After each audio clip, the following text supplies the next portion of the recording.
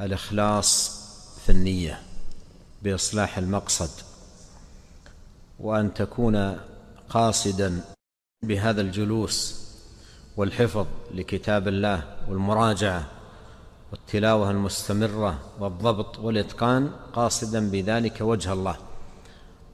فإنه لن يدخل هذا القرآن الذي تحفظه في صالح عملك إلا إذا قصدت بحفظه وجه الله.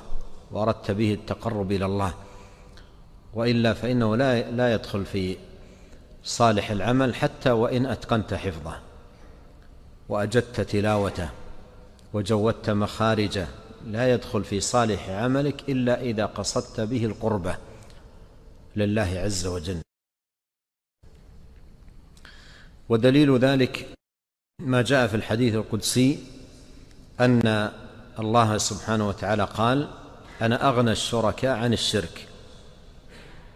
من عمل عملا أشرك معي فيه غيري تركته وشركه. فالله لا يقبل من العمل إلا الخالص. ولهذا تقصد بقراءتك وحفظك وجلوسك. تقصد بذلك وجه الله والتقرب إليه وطلب رضاه سبحانه وتعالى. فإنه ما تقرب إلى الله متقرب بمثل تلاوة كلامه.